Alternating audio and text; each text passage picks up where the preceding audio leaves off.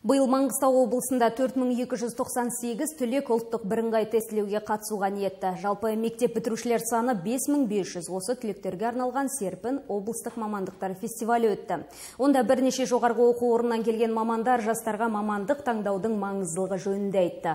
Биылғы түлектер үшін мамандық таңдауда да жаңашылдық енгізілген. Түлек енді мамандық емес, білім беру бағдарламалар тобын таңдайды. Ол бойынша жастар төрт білім беру бағдарламалар тобын және төрт жоғарғы оқу орнын таңдай алады. Балаларды ынталандыру мақсатында өткен фестивальге психологтар үкіметтік емес ұйым өкілдері қатысып түлектерге тренингтер өткізді.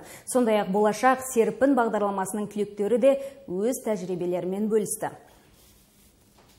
Мұнда көрініп тұрғандай балаларға бір серпін беру балаларға мына күтіп тұрған екі үлкен сынақ бар мемлекеттік емтихан мен ұлттық бірыңғай тестілеу. Соның алдында бір серпіліс беру мақсатында өткізіп жатырмыз. Жыл сайын бізден осы серпін бағдарламасы бойынша 500-ге жуық оқушы грантқа ие болады. Мысалға 2017 жылы 448 грантқа ие болса 2018 жылы 400-ге жуық грант иегерлері болды.